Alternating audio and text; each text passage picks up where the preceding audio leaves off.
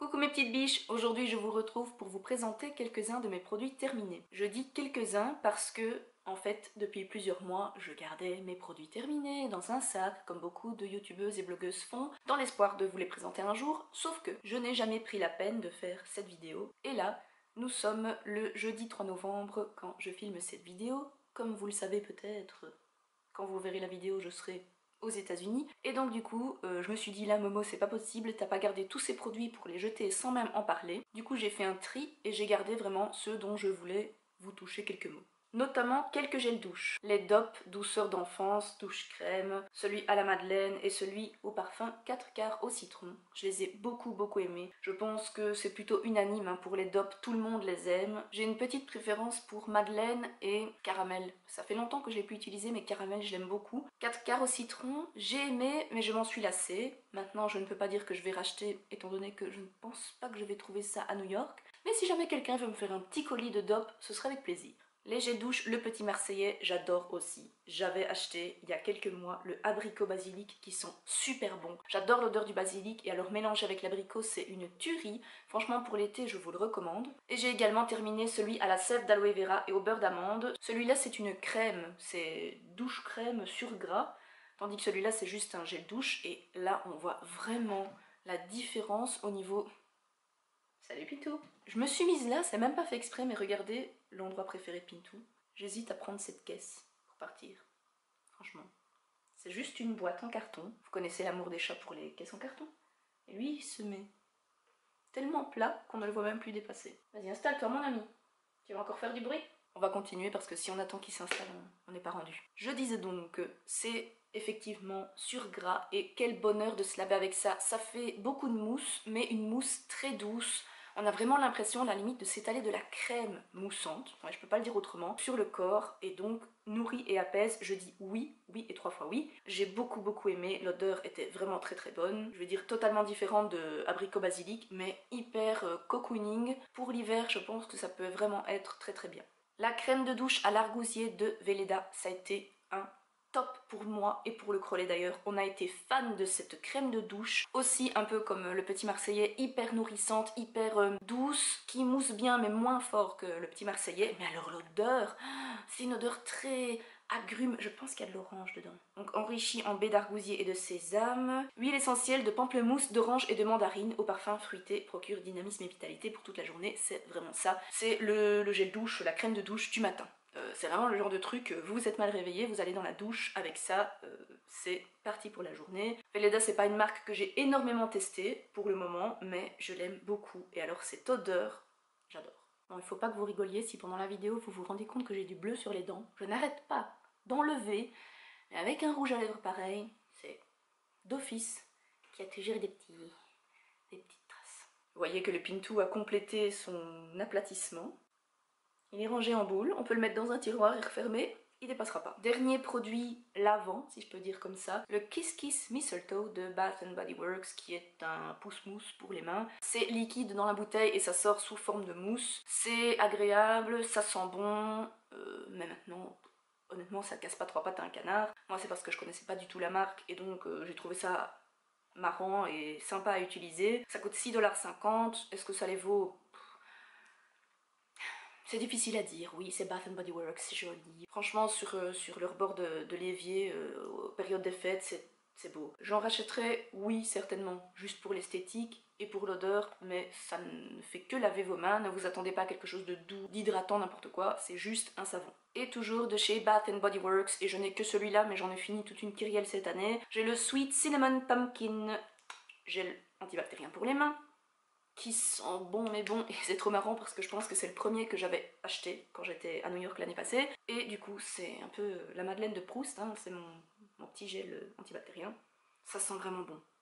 Ça sent pas la cannelle par contre, ni la citrouille, enfin je sais pas, mais l'odeur est très très bien faite, ça coûte 1,75$, mais il y a souvent des, promos genre euh, vous en achetez 3, vous avez un quatrième gratuit, enfin ce genre de choses. Ça fonctionne bien, ça désinfecte bien. Dans ce genre de petit gel hydroalcoolique, il y a souvent des microbilles, je sais pas trop trop à quoi ça sert, mais enfin c'est agréable à mettre, ça ne colle pas, ça sent bon, ça coûte pas cher, en gros ça je rachète, c'est sûr et certain. Pour les cheveux, j'ai deux produits que j'ai trouvé intéressants de vous présenter. C'est le shampoing sec Chlorane avec lequel j'avais fait une coiffure pour les rendez-vous beauté. Ce shampoing sec est vraiment très très bien. Il est effectivement extra doux. J'avais la version cheveux châtain à brun. Il y a euh, normal, cheveux clairs et cheveux foncés il me semble. Je ne pense pas que je rachèterai parce que je ne sais pas si je vais trouver ça aux états unis mais très bien. Effectivement, n'assèche pas les cheveux, ne les rend pas tout crépus, ça c'était bien. Fonctionne bien, très très bien. Alors la meuf, son mot c'est bien. C'est bien, c'est bien, c'est bien. Et un shampoing dont je vous ai déjà parlé de nombreuses fois, c'est le shampoing doux à la mamélisse et aux protéines de blé de Florence Nature. C'était pas la première fois que je terminais ce shampoing, c'était bien ma troisième, quatrième, voire cinquième bouteille parce qu'il est vraiment très très bien. Si vous cherchez un shampoing bio, naturel, qui sent bon, qui mousse quand même, euh, franchement pour un shampoing bio c'est pas celui qui mousse le moins, qui nettoie très bien, qui est doux avec les cheveux, foncé. Pour moi le seul bémol c'est que ça coûte quasiment 10 euros, je trouve ça un peu cher, mais encore une fois, si on sait bien l'utiliser avec parcimonie, parce qu'il n'en faut pas 450 000 ml à chaque shampoing, il y a moyen quand même de l'utiliser assez longtemps. Donc je recommande, mais regardez quand même, parce que souvent sur le site, il y a des promotions, il y a moyen d'en avoir deux pour le prix d'un ou un à moitié prix. Donc n'hésitez pas à regarder sur le site pour chasser les bons plans. Au niveau parfum et bonnes odeurs, j'ai terminé une brume de chez Bath Body Works, la Vanilla Bean Noël, que j'avais eu euh, gentiment à ma copine Sixtine qui ne l'aimait pas, donc elle me l'avait donné. Et ça sentait tout simplement la vanille et j'aime beaucoup cette odeur, donc voilà, je l'ai vidé en plusieurs mois j'avoue, mais super odeur. Je pense pas par contre que cette bouteille en particulier existe encore parce qu'à mon avis elle date bien d'il y a un an ou deux, deux ans même je dirais, je l'ai vraiment... Euh, tiré en longueur, mais je pense que je vais me mettre en quête d'une nouvelle brume à la vanille parce que j'adore ça. J'ai terminé plusieurs autres toilettes à la fleur de tiare, au monoï. J'en ai terminé deux de chez Yves Rocher, j'adore, c'est un de mes parfums préférés. Je kiffe l'odeur du monoï chez Yves Rocher, donc ça, si j'en retrouve, c'est sûr que j'en rachète pour l'été. Et j'avais eu dans un cadeau, il y a quelques mois, la fleur de tiare de chez Adopt De réserve naturelle, qui sent très bon, qui est assez similaire à celle de chez Yves Rocher. Mais enfin, je vais dire, chez Yves Rocher, voilà la grosse bouteille, et là, il y a 30 ml. Honnêtement, je pense que pour le prix, je rachèterai celui de chez Yves Rocher, même si celui-là est très très bien aussi. De chez Florence Nature, j'ai également terminé deux sprays assainissants aux 31 huiles essentielles bio. C'est un spray qui sert à assainir, purifier l'air. Donc moi j'ai utilisé ça le soir dans ma chambre. Ça sent hyper bon. Honnêtement, ça je suis triste. Je vais essayer d'en retrouver euh, là où je parce que euh, j'aimais beaucoup beaucoup cette odeur. J'ai associé cette odeur au soir en fait et au fait de dormir et ça me détendait, c'est vrai. C'est certainement euh, hein, tout dans la tête, mais j'aimais beaucoup et je vous le recommande. Comment vous dire que j'ai terminé au moins 5 déodorants stick de Belle Bulle. J'adore ces déodorants. Je pense d'ailleurs qu'il y en a plus que ça, mais j'ai dû les jeter. J'avais d'ailleurs demandé à la marque, parce qu'ils avaient demandé si on avait des, recommandations, de faire des plus gros sticks. Parce que moi, avec un stick comme ça, euh, je vais pas assez longtemps, quoi. Il y a que 17 ml. J'adore, j'adore, j'adore. Je suis fan, c'est mon déo préféré. Je suis triste à mourir parce que je ne pense pas que Belle Bulle livre aux états unis D'ailleurs, si une âme charitable, en plus des dopes, veut me faire un stock de déo et me les envoyer. J'ai pas eu le temps de passer à la boutique. J'adore. Je n'ai pas d'autres mots. Ce sont des déodorants, enfin c'est un déodorant, c'est tous les mêmes. Hein. Euh, c'est juste que je, vais les poser. Je vais pas tenir les 6, hein, le temps de vous parler de ça. C'est donc un déodorant naturel, 90% d'ingrédients végétaux issus de l'agriculture bio, vegan friendly, non testé sur les animaux, créé et fabriqué à Bruxelles. Pas d'alcool, pas d'aluminium, pas d'OGM, pas d'huile de palme et pas d'huile minérale. Donc c'est vraiment le top du top. Il y a de l'huile de nigel dedans et je trouve que l'odeur est un peu, un peu mentholée. Mais moi j'adore, je, je suis fan. Je peux pas le dire autrement, je suis complètement dingo de ce déodorant. Pour le corps, j'ai deux produits. Le premier, c'est le Rub Rub Rub gratte-ciel, je pense, de chez Lush, qui est un exfoliant qui mousse, donc qui fait un peu gel douche. Perso, j'ai jamais réussi à laver tout mon corps avec, parce qu'en plus, vous avez vu la taille du pot, euh, moi je lave une fois, hein, concrètement. Mais ça sent évidemment bon. Ah ouais, j'adore, j'adore, j'adore, ça c'est sûr que je le rachète. Je ne sais pas quand, mais un de ces quatre, parce que ça sent hyper bon. Oui, c'est un peu citronné, mais c'est pas, ça sent pas que le citron ça sent bon, ça sent bon, et ça exfolie tout en, euh, tout en, ouais, tout en moussant. Donc je sais pas moi par exemple si vous voulez exfolier vos jambes ou le haut de votre corps, enfin par exemple je suis désolée mais moi je lave pas mes dessous de bras avec parce que j'ai pas besoin spécialement d'exfolier mes dessous de bras. Donc vous voyez, c'est un peu le, gel douche scrub que vous utilisez à certains endroits et après l'odeur reste sur la peau. Ça c'est un top, c'est sûr que je rachète. Et le deuxième produit, vous l'avez vu dans ma morning routine de l'automne, c'est le beurre corporel à l'huile d'argan sauvage Wild. Hmm. Ce truc sent divinement bon aussi. Y a rien à faire. C'est pas spécialement euh, mieux, je vais dire, au niveau composition, quand il y a plein de parfums et tout ça. Hmm, on, est bien d'accord. Mais un, produit qui sent bon. Un produit qui vous fait du bien quand vous l'appliquez. Parce qu'en plus de son action, il sent bon. C'est gagné, quoi, j'ai envie de vous dire. Euh, déjà, les beurres The Body Shop, leur réputation n'est plus à faire. Ils sont excellents. Pour un prix, je trouve moyen. Hein. Je veux dire, c'est environ, si je ne m'abuse, 16, entre 16 et 20 euros je pense. Hein. Honnêtement, pour l'hiver, c'est sûr que je m'en rachète un pot parce que j'adore. Je vais certainement changer d'odeur, mais les beurres corporels The Body Shop, je vous les recommande à 1000%.